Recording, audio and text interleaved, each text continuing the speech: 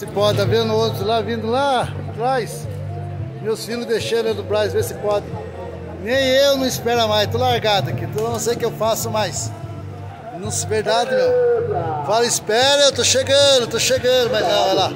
Vai saindo lá. Você não vem correr atrás aqui, ó. Fico eu aqui. É pra acabar. Vai lá. Tem condição.